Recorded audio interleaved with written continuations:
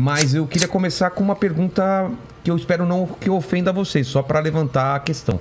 Jesus existiu de verdade ou não? Ex- existem provas? Porque, claro que a gente acredita, eu sou cristão, eu acredito em, em Jesus, acredito na Bíblia. Mas e a, histori- o que, que os, os historiadores, a ciência, falam sobre isso? O que, que temos de provas?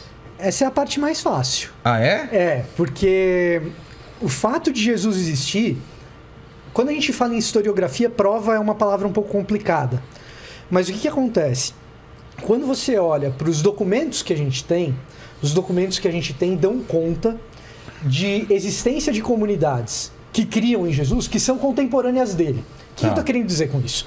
Você pega, por exemplo, os primeiros documentos que estão na Bíblia, os primeiros documentos em ordem de redação Tá. que estão no Novo Testamento, melhor dizendo, são as cartas de Paulo. As cartas de Paulo, se você for pegar a primeira de todas, tem uma discussão se é a primeira Tessalonicense, se é Gálatas, mas assim, pessoal mais crítico, historiador mesmo, geralmente vai com primeira Tessalonicenses.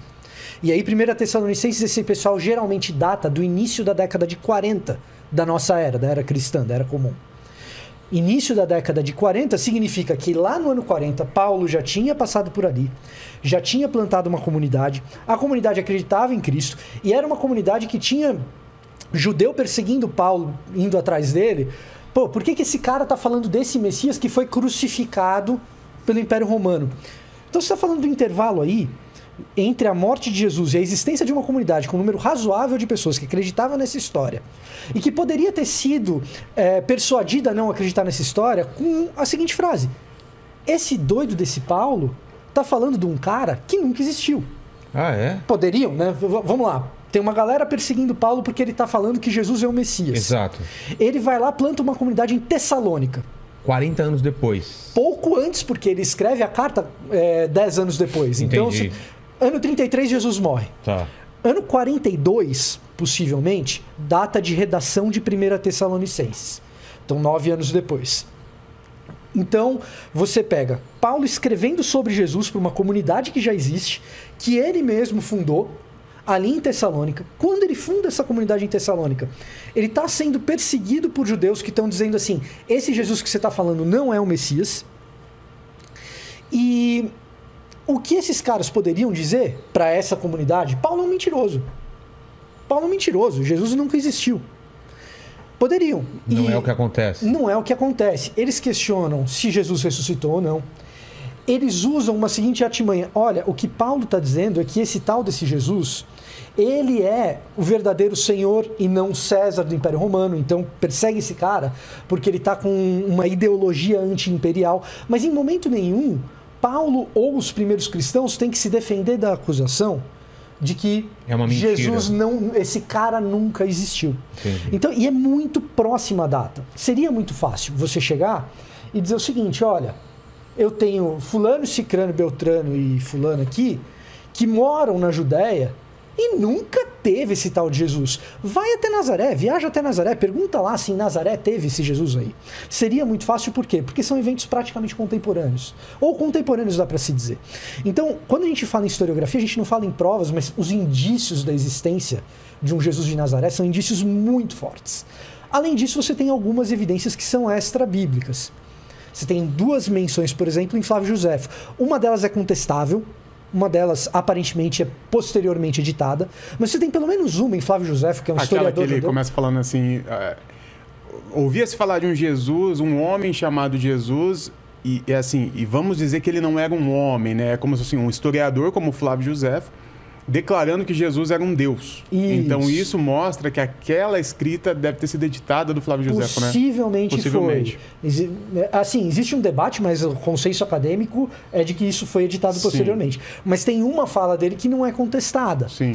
Então, assim, você tem um pouco de evidência extra-bíblica também. Além da evidência bíblica que leva a gente a tentar imaginar o cenário e falar assim, putz, os caras têm tudo para dizer que Paulo está mentindo. E eles não usam esse argumento, usam outros.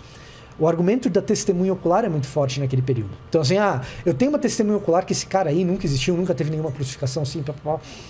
É, e em nenhum momento isso acontece. O que acontece é o seguinte: olha, Paulo tem uma ideologia contra César. Então, persegue esse cara. E ele sai fugido de Tessalônica por causa disso. Entendi. Então, assim, essa quando a gente fala da existência de Jesus, por causa disso, por causa desses elementos, quando a gente fala de existência de Jesus, isso é consenso acadêmico. Historiador, ateu, independentemente de religião. Se você vai na SBL, Sociedade Bíblica de Literatura, Sociedade de Literatura Bíblica, que é a maior organização de acadêmicos dessa área, tem historiador, tem arqueólogo, tem teólogo também. Você vai lá e fala a respeito da existência de Jesus, todo mundo concorda. Isso não é um problema. Existem outros problemas, mas que ele existiu é consenso. É, há um consenso, há os, há os controversos, né? Há umas teorias que dentro da academia são chamadas de teorias terraplanistas, né? De que Jesus não teria existido. Mas se apoiam em alguma. Se apoiam, mas são, são argumentos, é, até uma brincadeira, um bullying com esses Ah, é? caras, né? Que é um, são argumentos falaciosos, né? Então, assim, é quase que um fato que Jesus existiu. Agora, o que poderia ter de fato da existência de Jesus? Que existiu esse homem chamado Jesus, que viveu na região de Nazaré, que esteve diante de Pôncio Pilatos em algum momento da vida dele e que ele foi crucificado fora dos muros de Jerusalém. Tá. O que passar disso, dessas informações, aí já é um campo teológico e campo de fé. Então, há um consenso, mas as, as informações são muito reduzidas, muito reduzidas. Olha, eu vou dizer o seguinte: esse lance da existência de Jesus e até com certo detalhamento é muito maior do que o pessoal imagina. Ah, é? Porque o que acontece é o seguinte: você tem uma cristandade que se desenvolve no ambiente europeu. Aí chega no contexto europeu, surge todo aquele lance mais iluminista, e especialmente a partir de um cara chamado Raimarus, é que o pessoal começou a dizer: "Ah, não, esse lance de Jesus é uma criação religiosa. Os caras falavam: não, existe um possível Jesus histórico e um negócio que é o Cristo da fé que o pessoal resolveu acreditar com o coração.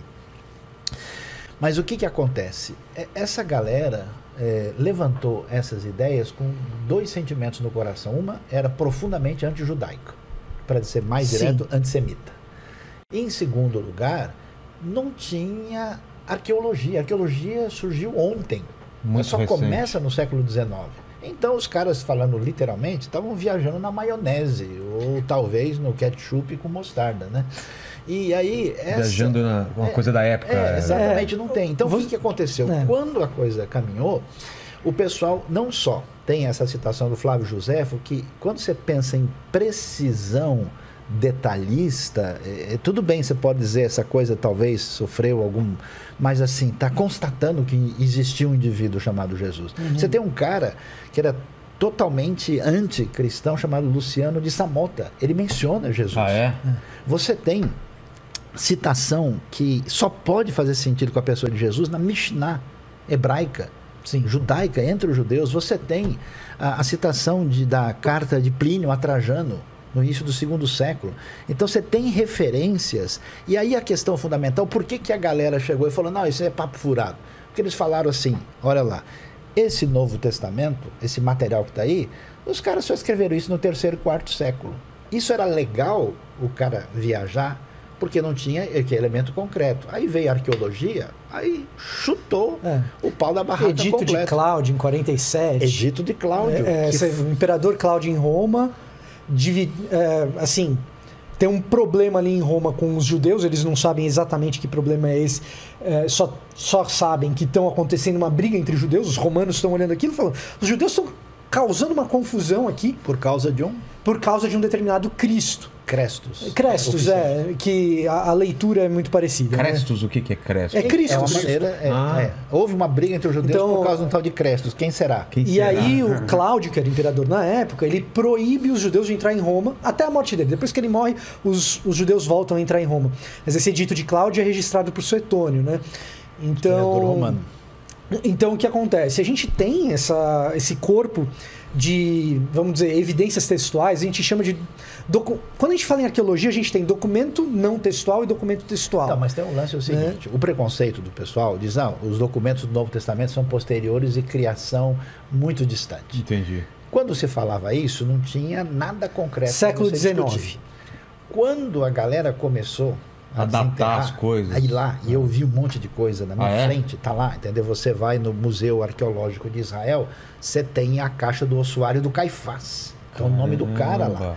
Você, Isso até, tudo mil- já analisado, até né? 1961, a Pilatos é uma criação, ninguém nunca achou o nome dele em Roma. Acharam no Teatro de Cesareia, Cesareia Marítima, 1961, a placa escrito Tibério, governador da Judéia, e, desculpa, Pilatos, governador da Judéia, em honra ao imperador Tibério, que foi imperador do ano 14 ao, ao ano Isso, 37. quando foi essa descoberta? Isso é 1961. Muito recente. Os caras desenterraram todo o negócio que existe em Cafarnaum. Acharam, dois anos atrás, o anel com o nome de Pilatos. Então, você tem algumas coisas curiosas. Por exemplo, ah, os detalhes da geografia de Israel são muito minuciosos. Aí você pega o texto e lê e fala: o cara só pode ter escrito isso se ele teve aqui. É. Não tem como, entendeu? O cara saber que tem essa curva e essa subidinha aqui. O Evangelho de João, que a galera falava, não, foi uma criação, não sei. de- É muito detalhado geograficamente. A outra questão que, que derrubou de vez é a questão do grego. Que quando o pessoal lia esse grego, falava, ah, esse grego aqui e tal, não sei o quê. Quando for analisar, esse grego não é bem grego, é um grego semitizado. É um O grego que com ele está querendo dizer é o seguinte: Do Novo o Testamento. Novo Testamento ele é escrito em grego, tá? Por quê? Porque era a língua Língua- comum da época. É como se, é como se isso, como se você tivesse o inglês hoje. Era a língua franca. E aí o que acontece? Quando você pega esses autores do Novo Testamento escrevendo em grego, o jeito do cara falar não parece alguém escrevendo em grego, parece alguém escrevendo Em em, hebraico. aramaico, hebraico. Por exemplo, ó, vou, vou dar um exemplo aqui, já, já que esse podcast é conhecido pelo, pela proficiência em língua inglesa que os convidados têm. Não, não Entendeu? tava sabendo. Entendeu a ironia? Uma piadinha. Foi uma piadinha? Do Antubai Cruzeiro? Do Antubai Cruzeiro? maldade. Não sei se esse pecado, não sei se esse pecado tem perdão, hein? É, cara. Perdão, ó, perdão aos envolvidos Perdão, aí, perdão, né? Mas, mas o que acontece? Inclusive minha também, tá? Só pra deixar claro. Eu também não sei nada de inglês. Mas assim, ó, você sabe o suficiente pra saber que assim, ó, casa é house. Sim. E aí eu vou falar bem como a gente brasileiro fala, casa é house. É? Tá. House. é house. House of Cards é, é casa de cartas. Aí eu falo assim, não, hoje eu vou na casa do Vilela. Aí você fala assim, bem brasileiro. I'm going to the house of Vilela. Ah, certo? entendi. Like Se I, eu- nós like, mas Mônica é good. É. Nós, Eu falei, É Não é como um cara que conhece a língua escreveria, I'm né? going to Vilelas. A construção é, é, é o português passado pro inglês, Isso. literalmente. Mas o lance é isso. Se esse negócio tivesse sido feito lá no ambiente grego dois, três séculos depois, os caras não iam falar desse jeito. Nós vai, nós fica, nós É. foi. Entendeu? Então é essa, essa pegada, esse lance da língua matou a pau. Cê- E algumas descobertas arqueológicas fundamentais também. Por exemplo, ele está falando de Tessalônica, né? É. O pessoal mais negócio de Paulo, quando é que ia começar? Os caras acharam lá em Corinto é, uma peça arqueológica que está no Museu de Delfos, na Grécia, que botou na cronologia do detalhe as viagens do apóstolo Paulo. Foi uma inscrição de Galho, que ele era procônsul da Acaia. E Paulo encontra com Galho em Corinto. Então, isso aí é uma inscrição histórica do Império Romano. Então, a galera que fala assim, ah, uns têm uma opinião, outros têm outra, na verdade, uns estudaram direito, outros não estudaram ainda. É simples assim. Um dos, dos argumentos para dizer que Jesus não existiu é porque não há, tirando a, a, a citação do Flávio, Flávio Josefo, é que não há nenhuma citação mais sobre Jesus. Mas não havia naquela época de uma Não, mas pessoa tem. normal. Eu, eu, Mas eu- tem. Não, tem poucos. mas, mas pode ser assim- burra a minha pergunta, mas Não. existia certidão de nascimento? Tem a... Como tem hoje? Não, mas- Jesus Ó, nasceu em tal não lugar. pra massa, não pro Ó, povão. Não, mas a gente teria acesso a isso? Não, a gente não tem Não, esse tipo de Ah, coisa. não. Ah, porque o, a- o povão não tinha esse Você tem uma registro. noção. Até, até uma coisa que, assim, por exemplo, nome das pessoas, é, pessoa do povão, assim, Sei. é fulano filho do ciclano. Não Ah, tinha nem é. direito sobrenome Do muito. jeito que é hoje, é bem recente. Hoje no Brasil, mais de 90% da população é alfabetizada. Naquela época, era de 1 a 3% das pessoas sabiam escrever o próprio nome. Nossa. É, entre Então, o fato de Jesus, placa. Jesus ser citado no primeiro século, depois no segundo, isso mostra que ele, sendo um homem da classe trabalhadora, que não tinha dinheiro, não tinha nenhuma posição no governo, ele ser citado, ele foi um cara especial de alguma forma. Relevante. Relevante, Relevante. de alguma Relevante. forma. Então, mas, ó, mas vamos lá. Qual que, é- qual que é a questão que você tem que entender? Jesus Não, não é um não. governador, não é um rei. O Herodes, que é o Herodes o Grande, que construiu metade das coisas da época romana que você vê em Israel, tem 13 construções gigantescas. O cara, ele era o, o máximo. não tinha nenhuma prova arqueológica da existência do Herodes. Até Exato. que os caras descobriram o lugar onde ele foi sepultado, chamado Mesmo. Herodes, o- Herodes, o, o grande Herodes. É, a gente tinha. Então, o- aqui que eles acharam? Acharam a garrafa de vinho do cara.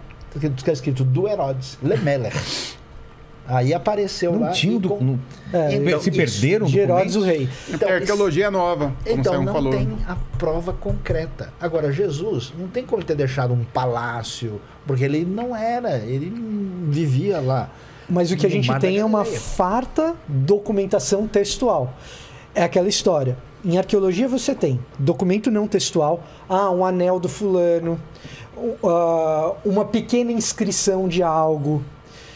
Ou mesmo um documento não textual, você tem, por exemplo, o pé de alguém crucificado com um cravo enfiado e você encontra. 1968, o crucificado de Givat Hamitvar. Então você encontra. Você não vai poder dizer que aquilo ali é Jesus crucificado. Mas você encontra essas coisas. Agora, você tem documentação textual. Documentação textual é o quê? Putz, um texto razoavelmente longo, uma- um fragmento de texto razoavelmente longo, e que você consegue mais ou menos datar, e você tem uma noção de conteúdo daquilo. Quando você vai para esses documentos textuais e você data esses documentos textuais e você vê a a abundância de documentos textuais, fica muito difícil você dizer, ah, esse Jesus aí nunca existiu, porque quando você imagina o cenário daquelas pessoas re- recebendo aqueles textos, não tem como ele. É que Jesus não pode ter sido inventado. Esse que é o problema. Também tem isso. É, É, você do tem nada inventar. um monte de coisa escrito sobre o cara e aí esse cara nunca existiu. Como assim? Aí você vai analisar esses documentos, toda a pertinência dos documentos do ponto de vista da cultura, da sociedade, que aliás, os estudos mais profundos sobre isso aconteceram nos últimos 50 anos. E o detalhe é o seguinte, o judaísmo tradicional não reconhece Jesus como a tradição cristã. É. E hoje você tem, por exemplo, um, um expert que era um gênio de mão cheia chamado Davi Flusser, professor da Universidade Hebraica de Jerusalém. Esse cara escreveu um dos melhores livros sobre Jesus que jamais foi escrito. E o que, que esse cara diz? Ele diz assim: Jesus foi um rabino, um indivíduo que viveu dentro do contexto judaico a vida toda e ele nunca quis criar uma nova religião. E o que, que ele diz? Não tem nenhum sentido você negar a existência de Jesus. Ele não acredita nas. Nas nos Ele não é um messiânico, né? cristãos. Ele não é um Nada, messiânico. perto. Ele não acredita em nada da teologia cristã Da espiritualidade. da espiritualidade, ele tem uma perspectiva judaica e assim, o- eu, em Israel eu converso com judeus ateus. Se você falar para ele, ó, Jesus nunca existiu, o cara dá risada. É. Não faz sentido. Porque Porque, todos acreditam. os caras estão lá adiante, tem as peças no museu, eles têm as coisas É. para verem, entendeu? Agora é claro, A questão tudo- com os judeus não é que- se ele existiu ou não, mas é a. se ele é Messias, se ele é ou não Messias ou não. com os judeus, com Seu os islâmicos Salvador, também. Então, o, o islâmico também, ele acredita na existência de Como um Jesus. profeta. Como uma espécie de profeta, como um Agora, pre- nem tudo que aparece na tradição cristã, ou nem tudo que você vai ver nos lugares, é de fato ligado à tradição, à, à- à realidade histórica de Jesus. Então, tem Ah. muita coisa aí que, por exemplo, Jesus não nasceu dia 25 de É dezembro. ia falar. Por que, que, por que, né? que se escolhe essa data de 25 de, de dezembro como o nascimento de Jesus? Bom, primeiro é, é, é impossível saber quando Jesus nasceu, né? O que a gente talvez tenha de evidência é que há um relato de que quando Jesus tinha nascido, os pastores estavam com as ovelhas no campo. Então não era um momento de inverno, não era um momento de outono, devia ser na primavera ou no verão. Então a gente tem ali alguns meses possíveis do nascimento de Jesus. Agora, dia 25 de dezembro, nunca.